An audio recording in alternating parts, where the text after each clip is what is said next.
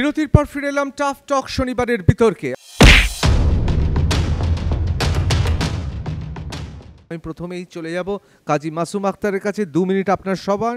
আপনি জবাবি ভাষণে অবশ্যই বলবেন অন্যান্য বক্তাদের কথাও। দল বদলু, তার যে অনৈতিকতা, নৈতিকতার প্রশ্ন এখন থাকছে। তাহলে আমাদের ভারতের সংবিধানে এই দলবদল এভাবে কি করতে পারে? এটার কি বৈধতা আছে? এই যে সুযোগটা পাচ্ছে, এটা নিয়ে আমি একটু পরিষ্কার আলোচনা যাচ্ছি। দল বদলুদের যে অনৈতিক আচরণ, এটা আগেও দেখা গেছে।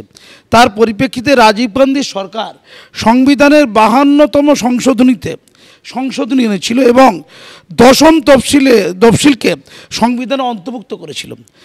এই সংশোধনীতে কি বলা হয়েছিল? বলা হয়েছিল, একটি দলে দুই তৃতীয়াংশ বা তার বেশি সদস্য যদি একসঙ্গে দল বদলে ফেলে, তাহলে এই দল বদল বৈধ। আর কিন্তু দুই তৃতীয়াংশের কম সদস্য যদি দল ভেঙে বেরোন বা অন্য দলে যোগ দেন, তাহলে সেই দল বদল বা দলত্যাগ অবৈধ। তাহলে কি করে এই যে দল বদল করছে, দল বদল এক দলে থেকে এক দলের পতাকা হাতে দিয়ে আছে অন্য দলের পতাকা?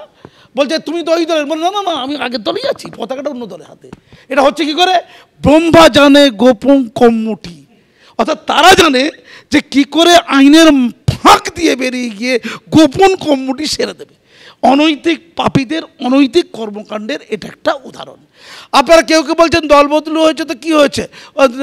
কষ্ট করছিল, অন্যায় হচ্ছিল, পাপ হচ্ছিল, তাই সরেছে না আদর্শগত কারণে একটি উদাহরণ আমাকে যদি কেউ বলতে পারবে, খুব খুশি হব। পশ্চিমবঙ্গের সাম্প্রতিক যত দল বদলু হয়েছে, আদর্শগত কারণে চলে এসছে দল বদল করেছে, একটা উদাহরণ আমার এখন পর্যন্ত জানা নেই। সেকেন্ডলি আমার স্বার্থে আঘাত লেগেছে, আমার চাওয়া পাওয়া বিঘ্নতা ঘটেছে, আমার পদোন্নতি ঘটেনি, পদ অবনতি ঘটেছে, কেবলমাত্র এবং কেবলই কেবলমাত্র তার জন্যই দল বদল করেছে এবং দল বদলের ঘটনাবলী ঘটছে। আমার ওখানে আলো বেশি, মধু বেশি, মধু আহরণ করতে যেমন মৌমাছি দৌড়ায়, পিলপিল করে, তেমন ওই দল বদলুরা পিলপিল করে দৌড়েছে মধু খেতে। এটার গত্যন্তর বা প্রত্যন্তর বা প্রত্যয় আছে কিনা, আমার জানা নেই। প্রশ্ন হচ্ছে, আমি শুধু একটা কথা বলব। আর বাবুল সুপ্রিয় খুব ভালো কথা বলেছিল। মুঝে বাবুল চাহিয়ে তার মন্ত্রিত্ব চলে গেল। বাবুল বলল, আমার বিজেপিতে আর ভালো ভবিষ্যৎ নেই। আমার অপরচুনিটি দিদি বলে দিয়েছে ওখানে আছে। তাই আমি দিদির কাছে দৌড়ালাম। আসল সত্য কথা নির্লজ্জের মতো তিনি বলতে পেরেছেন ধন্যবাদ তাকে। কিন্তু বাকিরা লুকিয়েছে বলেনি বাবুল বলেছে বাকিটা বলেনি। আসলে ধান্দাবাজি নোংরামি নষ্টামি ধাস্টামি তারই প্রতিক্রিয়ার একটাই ফল ওই পাতক্রিয়া সম্পাদন করার মতো দলবদল। তাই দলবদল অতি সাধারণ ঘটনা। এটা ভাত খাওয়ার মতো ঘুমানোর মতো পাতকর্ম করার মতো। ধন্যবাদ। অবশ্যই সপ্তর্ষি। আমার আগের পূর্ববর্তী বক্তারা সকলেই দলবদল নিয়ে অনেক আলোচনা করেছে। দুটো প্রসঙ্গ এর এখানে বলে দেওয়া দরকার আলোচনা এসছে একটা হচ্ছে পেশা আর একটা হচ্ছে প্যাশন আমি জানি না যতজন আমার মধ্যে বসে আছে আমার একটা পেশা আছে আমি রাজনীতি করছি এটা আমার প্যাশন চিকিৎসক আমি চক্ষু চিকিৎসক আমার একটা পেশা আছে তার পাশাপাশি রাজনীতি আমার প্যাশন সুতরাং জেনারেলাইজড কমেন্ট করার আগে প্রত্যেকের একটু আগে একটা নিজের আয়নায় দেখার কথা বলা হচ্ছিল না। তো সবাই যে শুধু পেশার ক্ষেত্রে বা প্যাশনের জন্যই করে তা নয়, এ বাদেও মানুষের অনেক যুক্তি বিবর্তনের একটা জায়গা রয়েছে। ছাত্র জীবনের রাজনীতির একটা কথা আমি আগে উল্লেখ করেছি, যারা আমরা বামপন্থায় সেই সময় গণতন্ত্রকে ধর্ষণ করার চরিত্র দেখেছি, ধর্ষণ নিয়ে আলোচনা হয়েছে এর মধ্যে। সেই গণতন্ত্র যেখানে কলেজ রাজনীতিতে ধর্ষিত হয়েছিল, বাইশ বছর ধরে গণতন্ত্রের অভাবে, আর যারাই মাথা তুলেছে আজকে বিজেপি যেটা করছে, বুলডোজার চালাচ্ছে, কখনো সেটাকে বলা হচ্ছে গণতন্ত্রের বিরোধী শূন্য করে দেওয়া, সেই প্রচেষ্টা বামপন্থার আমলে হয়েছে।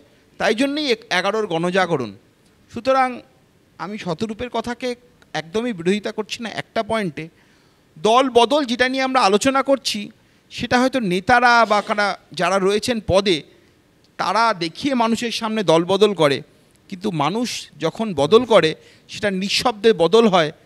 তখন আমরা বলি, বদলা, বদল নয়, বদলা নয়, বদল চাই।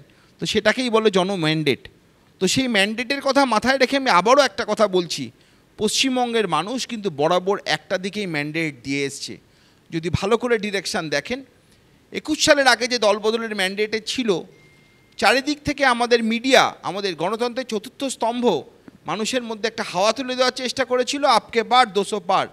সেই হাওয়ার ঝড়ে কিছু কিছু লোক অক্সিজেনের অভাব বোধ করেছিল। তখন তারা ছুটে গেছিল ভেন্টিলেশনে না গিয়ে তারা চেয়েছিল নতুন নার্সিংহোমে ভর্তি হতে। কিন্তু দেখল, তাদের হয়তো সুবিধা এখানেই। তাদের কথা বাদ দিন, কিন্তু আমার মতন কিছু লোক একুশ সালে তারা রাজনীতির আঙিনায় প্রথমবার প্রবেশ করেছে এবং মানুষের ম্যান্ডেট নিয়েই তারা এসছে। প্যাশানের জন্য, শুধু পেশার জন্য নয় মানুষ কিন্তু দল বদল করে না। আমি এখন এই ব্যাপারে খুব পরিষ্কার। মানুষের সাথে আমার যেখানে যোগাযোগ, আমরা বুঝেছি নিচু শ্রেণির কর্মী, যারা ঝান্ডা বয়, যারা দেওয়াল লেখে, তারা মানুষ বাঁচে আবেগ নিয়ে। তৃণমূল এমন একটা দল, যে দলটার জন্মই হয়েছে আবেগ নিয়ে। সেই আবেগের মূল কারণ চৌত্রিশ বছরের অপশাসন, সাইবাড়ির মতন ঘটনা। সেই অপশাসনের ফলাফল আজকে এগারো সালের ঘটনা। আজকে একটা তুচ্ছ একটা মানুষের আশার কথা নিয়ে আমরা আলোচনা করছি। এর আগে আমাদের সর্বভারতীয় সাধারণ সম্পাদক একটা কথা বলেছিলেন তার কথাটাকে কোট আনকোট করছি আমার কথার হয়তো ক্রিটিসাইজ হবে। যদি দরজা খুলে দেওয়া হয় অনেকেই হয়তো আমাদের ঘরে জায়গা করে নেওয়ার চেষ্টা করবে কিন্তু দরজাটা আমরা খুলছি না। ঠিক বাস্তবিক আমি এটাই। এখানে বাইরন বিশ্বাসের জন্য। কি করে ফাঁক দিয়ে গলেছে সেটা আমার বাইরানার উপরের নেতৃত্ব জানে তার মতামত দেওয়া আমার আলোচনার বিষয়বস্তু নয়। কিন্তু দলবদল শুধু একটা সাধারণ ঘটনা নয়, জনগণের ম্যান্ডেটকে বজায় রেখে যারা রাজনীতি করেন, যাদের এটা প্যাশান বলুন আর পেশাই বলুন, তারা দলবদলের ধারাটা বজায় রেখেছে। অবশ্যই শ্রদ্ধা রাখি কিছু মানুষ, যারা বিপরীত পরিস্থিতিতেও বিরূপ না হয়ে তারা থেকে গেছে। বলা হতো এক সময় লাল সূর্যের নাকি অস্ত হবে না, এক সময় রাশিয়াতেও বলা হতো এরকম কথা, কিন্তু তারও বদল হয়েছে। যখন রাশিয়ান কান্ট্রিজগুলোতে আমরা গিয়ে দেখেছি আমার প্রায় সাতটা রাশিয়ান কান্ট্রিজ যাওয়ার অভিজ্ঞতা থেকে, সেখানে তাদের উপর যে বুলডোজার চলেছিল, তার ফলাফল রাশিয়ার ভেঙে টুকরো টুকরো হওয়া। সেই বুলডোজারের ফলাফলও এগারো সাল। সুতরাং সমস্ত জিনিসটাকে মিলিয়ে মিশিয়ে এক করে দেওয়ার কোনো কারণ নেই। আর একটা জিনিস, বামপন্থা একটা শব্দ বারবার আমরা শুনতাম, দ্বন্দ্বমূলক বস্তুবাদ, যেটা নিয়ে আলোচনা করতে গেলে এখানে একটু বৃহৎ পরিসর আমরা আলোচনা হয়তো করতে পারব না। যাদের দলে কেউ যাচ্ছে না তাদের মনে দ্বন্দ্ব আছে বলেই কি তারা এই বিরোধিতা করছে? এই প্রশ্নটা আমি একবার ছুঁড়ে দিলাম। অবশ্যই। আমি অবশ্যই বলব শতরূপকে বলতে। প্রথম কথা হচ্ছে যে উনি বারবার এর আগেরবারও ওটা বললেন আমি ওই কলেজের ইলেকশন ইত্যাদি নিয়ে ওনাকে আমি জানাই যে এনআরএস বলুন, মেডিকেল কলেজ বলুন, এস এসএসকে বামফ্রন্ট সরকারের আমলের বেশিরভাগ সময়টাই ওখানে বিরোধী ছাত্র সংগঠন স্টুডেন্টস ইউনিয়ন চালাতো। সেটা ছাত্র পরিষদ বা টিএমসিপি টিএমসিপি কোনোদিনই প্রায় হয়নি, ছাত্র পরিষদও সেই অর্থে হয়নি। বেশিরভাগ ক্ষেত্রে না, ডিএসও থাকতো, আইসি মেডিকেল কলেজে কয়েক বছর ছিল। কিন্তু প্রায় কখনোই ওখানে এস এসএফআই স্টুডেন্টস ইউনিয়ন চালায়নি এক। দ্বিতীয় কথা হচ্ছে, আরে প্রায় কখনোই, প্রায় কথাটা তো কনসেন্ট্রেট করুন, আপনি খালি ইয়ে শুনবেন কেন? চালিয়েছে, কিন্তু বেশিরভাগ সময়টাই ওখানে এস এসএফআই বিরোধী সংগঠন চালিয়েছে এক। দ্বিতীয় কথা হচ্ছে, আমি আচ্ছা তুমি তুমি সিপিএম আসো এখানে আসো বলো।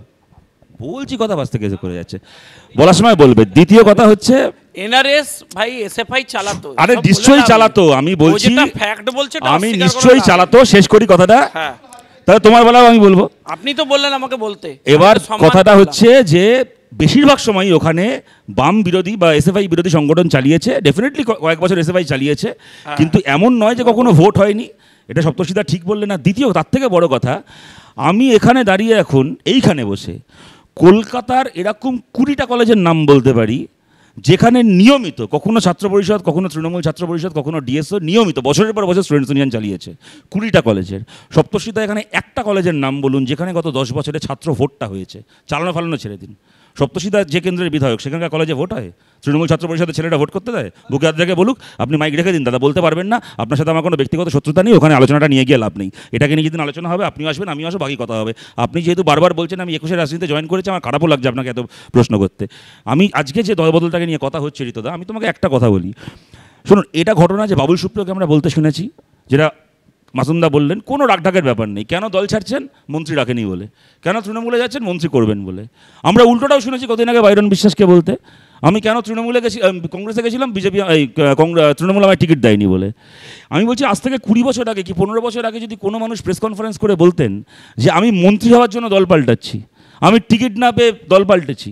সে যে দলেরই হোক না কেন, ওই দিন তার রাজনৈতিক জীবনের শেষ দিন হতো। মানুষ তাকে আর মেনে নিতেন না। আজকে যে কিছু লোক প্রেস কনফারেন্স করে কথা বলতে পারে যে আমি মন্ত্রী হব বলে দল পাল্টাচ্ছি, আমি ভোটে প্রার্থী হব বলে দল পাল্টাচ্ছি, এবং তারপরে তারা বুক ফুলিয়ে রাজনীতি করছে, আপনি সিপিএম, তৃণমূল, কংগ্রেস, বিজেপি ছেড়ে দিন, এটা সমাজের জন্য সুসংবাদ নাকি দুঃসংবাদ? আর আমি শেষ কথা আমার এক্ষেত্রে বলছি, এই উদাহরণও আছে ঋতদা, দু হাজার একুশের দোসরা মে গোটা বাংলায় ভোটের রেজাল্ট বেরোচ্ছে, আমরা শূন্য হচ্ছি। এলাকায় এলাকায় আমাদের পার্টি অফিসগুলোর বাইরে তখন তাণ্ডব হচ্ছে। সেই অবস্থায় কয়েক হাজার ছেলে মেয়ে রাজ্যে কাঁধে অক্সিজেনের সিলিন্ডারের হাতে খাবারের প্যাকেট নিয়ে এ বাড়ি থেকে ও বাড়ি এপাড়া থেকে ওপাড়া ছুটছে আমাদের রেড ভলেন্টিয়াররা। কার জন্য ছুটছে? যে আমাদের ভোট দিয়েছেন তার জন্য নয়। যে মানুষটা তার সাত দিন আগে বুথে গিয়ে আমাদের বিরুদ্ধে ভোট দিয়ে এসছেন, সেই মানুষও দেখছেন যে টিভি খুললেই এখন বিজেপি, তৃণমূল আর দরজা খুললেই সিপিএম। আমি বলছি, বাংলার একজন মানুষকে জিজ্ঞেস করছি, একজন মানুষের মানুষকে জিজ্ঞেস করছি, আপনি ধান্দাবাজ নন, আপনি একজন সাধারণ নাগরিক, আপনার সন্তান আছে, আপনার পরিবার আছে, আপনি বলুন আপনার আশীর্বাদের কে যোগ্য? যে প্রেস কনফারেন্স করে ঘোষণা করে আমি টিকিট না পেলে আমি মন্ত্রী না হলে দল পাল্টাই? নাকি যে ভোটে হেরে যাওয়ার যন্ত্রণাকে বুকে চেপে ধরে এক ঘণ্টা সময় লাগে না মানুষের জন্য তার ওই দুর্দিনে নিজের জীবনকে নিজের পরিবারকে বিপন্ন করে মানুষের কাছে ছুটে যেতে। আপনি বলুন এই সমাজে আপনার ভালোবাসা আপনার আশীর্বাদ পাওয়ার কে যোগ্য? শঙ্কু। যে প্রথম কথা হচ্ছে একটু লোকে নির্বাচনে হেরে যাওয়ার পর বোধোদয় হয়েছে বাড়িতে বাড়িতে অক্সিজেন সিলিন্ডার রক্ত এসব দিতে যাচ্ছ ভালো ব্যাপার।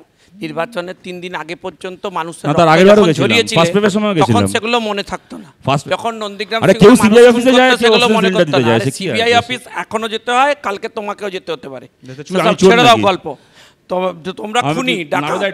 তোমরা যাব? টাকার ছবি দেখাবে তারপরে বলবে। আমি রাজশ্রীকে এতক্ষণ তোমার শুনেছি একটু আহ, একটা জিনিস ইন্ডিকেট করতে চাই।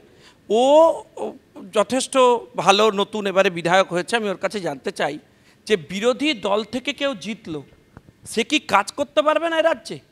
তোমার তো সরকার রয়েছে, কেন বক্তব্য রাখতে গিয়ে তোমায় এই জায়গায় ইন্ডিকেট করতে হয়েছে যে বাইরন বিশ্বাস এখানে কাজ করতে পারবে না, তাই ওকে তৃণমূলেই আসতে হবে? এইটা কি তুমি ইন্ডিকেট করে এস্টাবলিশ করার চেষ্টা করলে? যে তার মানে এই রাজ্যে বিরোধী কোনো মত তার, তাদের মুখ্যমন্ত্রী মমতা বন্দ্যোপাধ্যায় হবেন না। তাহলে সে কোনোভাবে তোমার তোমার যদি পাশে বাইরন বিশ্বাস বোঝার কথা একটা হয়ে ভুল হয়েছে। MLA তোমার সাথে তোমার সাথে- সরকারে কিন্তু কারোর কাছে চাওয়া হয় না। দুয়ারে সরকারে কিন্তু কারোর কাছে রিপ্লে করে দেখাতে বলব মমতা বন্দ্যোপাধ্যায় হাত দিয়ে আমাদের উন্নয়ন এসছে আর সেই উন্নয়নের ঢেউয়ে বাইডন বিশ্বাস যদি একজন এসে যোগ দিয়ে নিজের এলাকার মানুষকে পরিষেবা দিতে চান তাহলে তার দলবদলটা দলবদল নয় আমরা বলব উন্নয়নের সাথে মানুষের পাশে থাকার আর একটা প্রতিমূর্তি। তুমি তোমার বক্তব্যে নির্দিষ্ট করে বলেছ উন্নয়নের জোয়ারে থাকতে হলে কেন তোমার বিরোধী মত নিয়ে থাকা যাবে না? শতরূপ আমার রাজনৈতিক বিরোধী। কিন্তু শতরূপের মত সিপিএম এটা এটা আমি শতরূপের সাথে একমত এখানে বসে প্ল্যাটফর্মে বলছি ভাই শতরূপের সময় তো রাজ্যের বিরোধী নেত্রী ছিলেন মমতা বন্দ্যোপাধ্যায়। রাজনীতি তো করেছেন। রাজনীতি করবার অপরচুনিটি আছে। এখন তো তোমরা যে জায়গা তৈরি করছ অপোজিশনে রাজনীতি করবার কোনো অপরচুনিটি নেই। আমার ক্ষেত্রে নয় ও কংগ্রেসের আমি একটা সতেরো ঘটনা বলছি। লাইনে আচ্ছা। শেষ করব। ও কংগ্রেসের রিপ্রেজেন্টেটিভ যেদিন দু হাজার এগারোতে ওরা সাথে ছিল ক্ষমতায় এসেছে কতদিন সাথে থাকতে পেরেছে? সেকেন্ড ডে থেকে তোমরা শুরু করেছ ওদের দল থেকে লোক নিয়ে চলে যাও। ভাই মানস ভূঁইয়ার সাথে আমার কোনো সম্পর্ক ছিল না। কিন্তু মানস ভূঁইয়া বা রবীন্দ্রনাথ ভট্টাচার্য এদের কেন তৃণমূলে জয়েন করতে হচ্ছে মার্ডার কেসের ওপর ডিপেন্ড করে? কেন? তোমরা এখানে বিরোধী শূন্য এই কনসেপ্ট অপারেট করছ। কেন বিরোধীরা থাকবে না? আমি আমি শুধু আর একটা ছোট্ট লাইন বলে ছেড়ে দেবো, এরপরে শতরূপ আবার বলবে। আমি শুধু শতরূপকে একটা জায়গায় কনগ্রাচুলেট করতে চাই। আমি শতরূপের সাথে রাজনৈতিক লড়াইয়ে থাকি, কিন্তু ঋতব্রতদাকে যেদিন মাথায় তুলে নিয়ে তৃণমূল কংগ্রেস মাথার ওপর বসেছে, সেই কারণটা কীভাবে তোমরা জাস্টিফাই করবে, যিনি তোমাদের দলনেত্রী মমতা বন্দ্যোপাধ্যায়কে খুন করতে গেছিলেন? তোমার মমতা বন্দ্যোপাধ্যায়কে টার্গেট করেছিলেন দিল্লিতে। এত বড় উদার মন এই দলবদলকে তোমরা কোন কীভাবে জাস্টিফাই করবে? অবশ্য আমি আরও একটা কথা বলব এই তিন দিন আগে আমাদের কুচবিহারে একজন মার্ডার হয়ে গেছে বিজেপির ছেলে। যে মার্ডার হয়ে গেল যার বিরুদ্ধে অভিযোগ তিনি উদয়ন দা ওখানকার মন্ত্রী বামপন্থী লোক ছিলেন ফরওয়ার্ড ব্লক ছিল। তার বাবা তার বাবাকে এখন চোর বানিয়েছে। আমি তৃণমূলের প্রতিনিধির কাছে জানতে চাই যে ভাই তার বিরুদ্ধে অভিযোগ হচ্ছে তিনি তৃণমূলের একজন কর্মীকে মার্ডার করেছেন। সেটার তিনি প্রিন্সিপাল অ্যাকিউজড তাকে তুলে নিয়ে গিয়ে তুমি মন্ত্রী বানিয়েছো। আচ্ছা, তৃণমূল একটা তো জাস্টিফাই করবে দলবদলের তুমি- কারণ। তুমি আর কটা লাস্ট কথা বলবে? না হয়ে গেছে। আচ্ছা বলছি যে আমি একটা কথা বলি সপ্তশীতে আপনি যেটা বললেন শঙ্কুদা উত্তর দিলাম আমি আপনাকে মনে করাই। আপনি আবার বলবেন যে আমি তো রাজনীতিতে ছিলাম না তখন।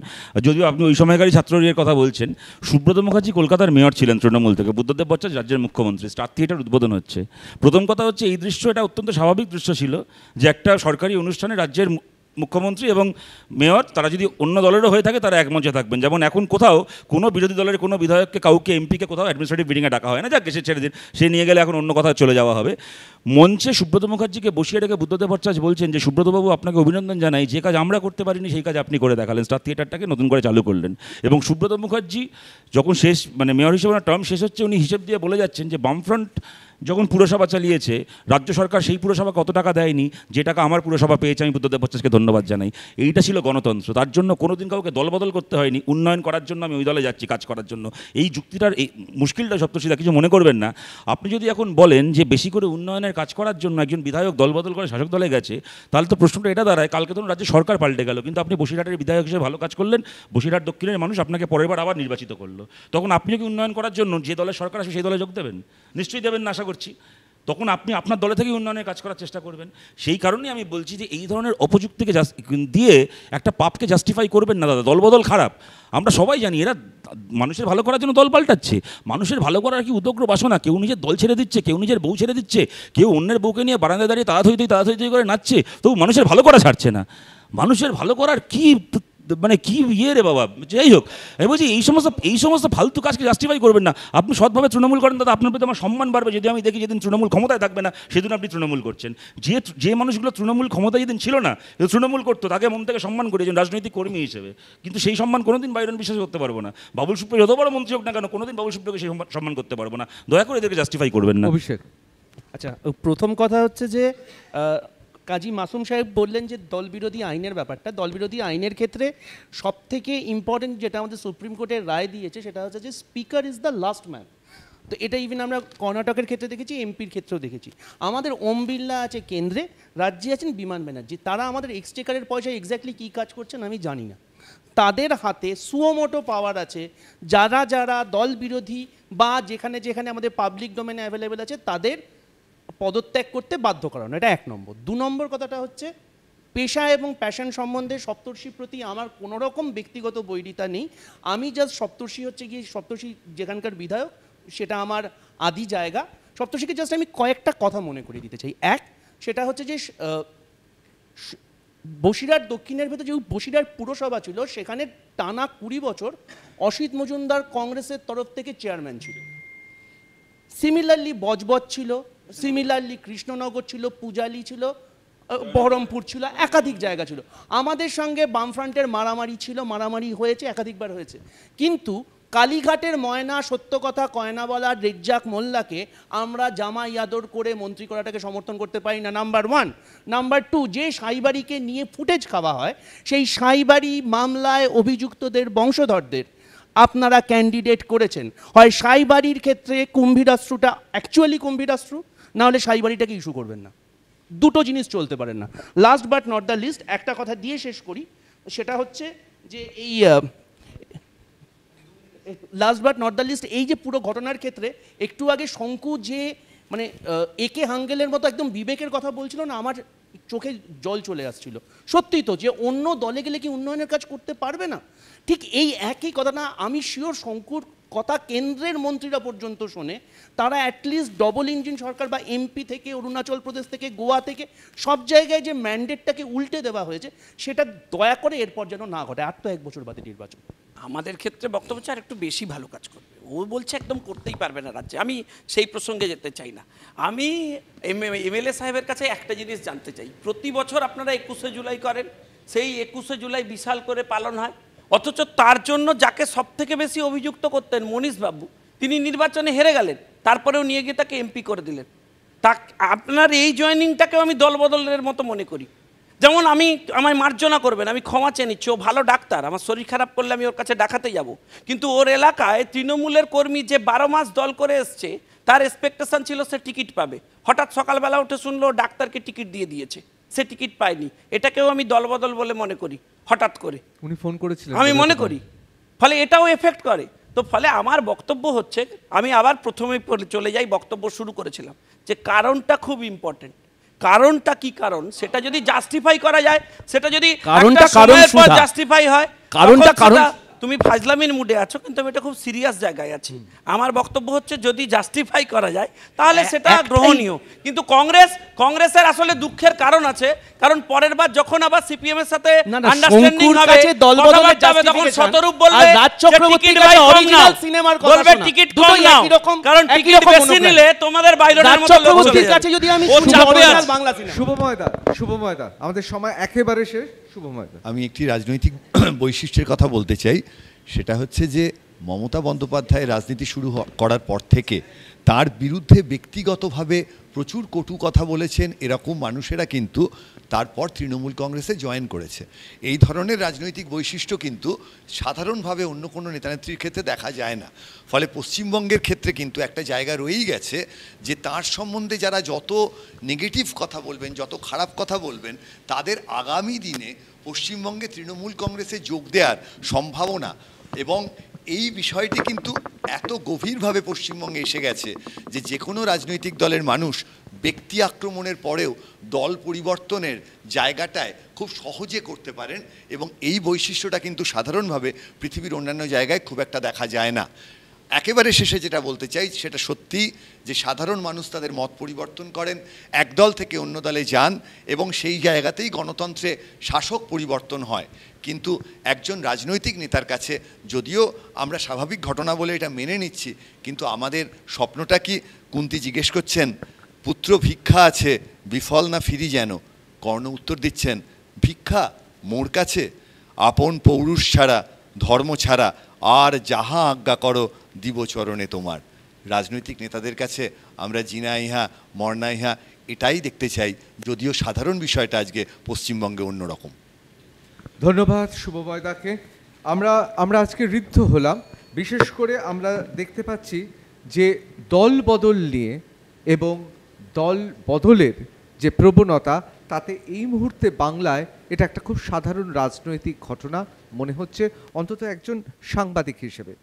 সঞ্জীব চট্টোপাধ্যায় এবং ভলতেয়ার ভিন্ন সময় লিখেছেন, কিন্তু দুজনে একটা কথা খুব পরিষ্কার করে লিখেছেন। অনেকের কাছে পরস্ত্রী এবং পরশ্রী দুটোই মনে হয় অভিনব বিষয়।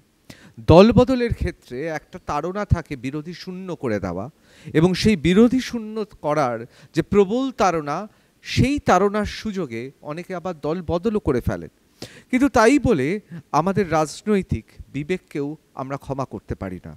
তার কারণ আমরাই এমন একটা ব্যবস্থা তৈরি করেছি বহুদলীয় গণতন্ত্রে, যেখানে বিরোধী দলের হয়ে জেতার সংখ্যাটা এতই কম যে বিরোধী দলে যিনি জিতছেন, তিনিও বোধহয় কখনো কখনো মনে করেন তিনি বড্ড বেশি একা। কিন্তু তাই বলে কি আমরা আমরা দলবদলকে সমর্থন করব? আমরা জানি দলবদলের একটা একটা অমোঘ আকর্ষণ আছেন। কেউ পদাঘাত খেয়ে কেউ ঝালমুড়ি খেয়ে, কেউ দিল্লিতে হাফ প্লেট চাউমিন খেয়ে দলবদল করে ফেলছেন। তার মানে দলবদলকে কি তাহলে আমরা সমর্থন করব? না, অবশ্যই করব না। তার কারণ আমাদের বিশ্বাস থাকুক সেই কথাতে।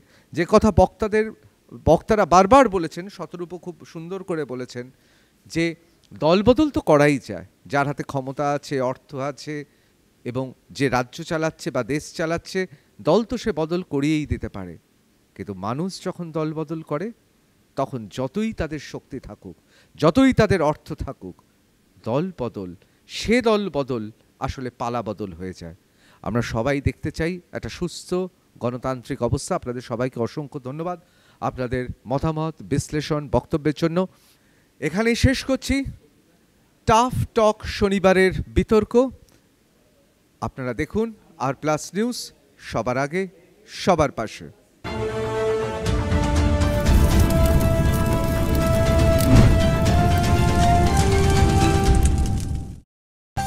Powered by Emmer Group of Colleges and Hospitals.